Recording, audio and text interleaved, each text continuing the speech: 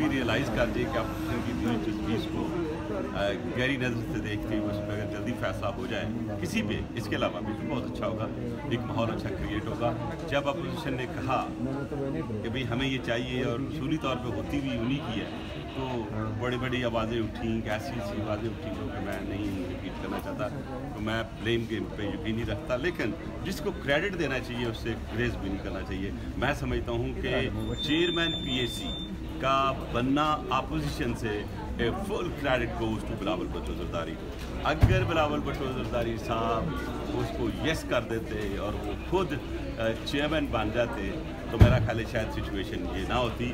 آج جس انداز سے اپوزیشن نے یونٹی کا مظاہرہ کیا ہے اور اس یونٹی کے کو آگے لانے کے لیے اس کو بائنڈ کرنے کے لیے اچھا بانڈ بنانے کے لیے I think let's appreciate the role of Bilawal Bhutto Zardari اور وہ کھڑے ہوئے اور اس انداز سے کھڑے ہوئے کہ حکومت کو جھکنا پڑا۔ جھکنے سے مراد یہ کہ انہیں یس کرنا پڑا۔ تو اللہ کرے کہ آگے بھی کوئی چیزیں جو ہم کہہ رہے ہیں، وہ سن لیں۔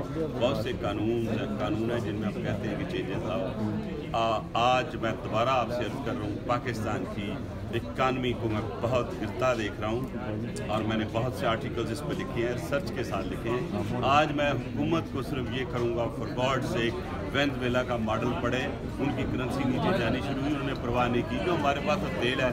ہماری تو اچھی اکانومی ہے، ہمارا گروتھ ریٹ بڑا اچھا ہے، ہماری جی ڈی پی بہت اچھی ہے۔ کیا ہوا؟ آج وہاں پہ اتنی بری حالت ہے کہ لوگ مائگریٹ کرنے کے لیے اس وقت پوری مائگریشن ہو رہی ہے وہاں سے۔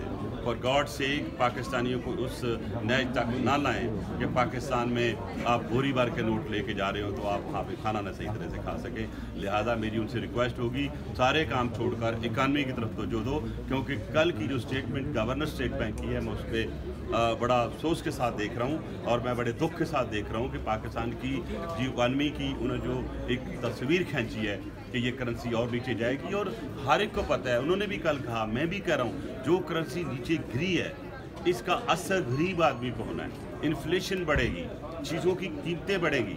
وہ غریب آدمی جس کی دس ہزار تنخواہ بھی نہیں، وہ کیا کرے گا؟ تو کیا یہ چاہتے ہیں آپ کہ غریب کو اتنا پیس دو، اتنا دبا دو کہ وہ یہ گلیوں میں سامنے آ جائے، سڑکوں پہ سامنے آ جائے؟ لہٰذا میرا اس حکومت سے پاکستان کی خاطر، پاکستان کی آنے والی نسلوں کی خاطر یہ میں ریکویسٹ کروں گا کہ اپنی اکانومی کی طرف توجہ دیں۔ اس کو پرائرٹی رکھ لیں اور یہ کلیکٹیو سوچ کے ساتھ چلیں۔ پارلیمنٹ میں لے کے آئیں اسٹڈی کریں اور بابو میں چھوڑنے کے بجائے جو اکانومسٹ ہیں، جو ریئل اکانومسٹ uh, ہیں، جن کو پتہ ہے کہ دنیا کی اکانومی کیسے بہیو کر رہی ہے. اور دوسرا، نہ بھولیں کہ اس وقت جس انداز سے امریکہ آپ کے پیچھے پڑا ہوا ہے، انڈیا اور افغانستان کے سارے وہ نیگیٹو جتنی بھی اگریشنز ہیں، آپ سے نہیں بھولنا چاہیے. آج ہم پہ جس وجہ سے ہمارے ملک میں اتنا طوفان آیا، اسی وجہ سے کہہ رہے ہیں جی کہ پاکستان میں ریلیجس فریڈم نہیں ہمارے ہاں تو ریلیجس فریڈم ہے۔ جو آپ نے جنگ کرائی فاٹا میں، کس بیسس پہ کی؟ آپ نے ہمارا کی کوشن یوزی ریلیجس ایلیمنٹس کو کیا۔ ان کو استعمال ہی آپ لوگوں نے کیا، پیسے آپ نے دیے، ہائر آپ نے کیا، القاعدہ کون لے کے آیا؟ جس سارا کا سارا تب خود کرتے ہو مسٹر ڈونلڈ ٹرمپ اور پھر ہمارا نام لگاتے ہو۔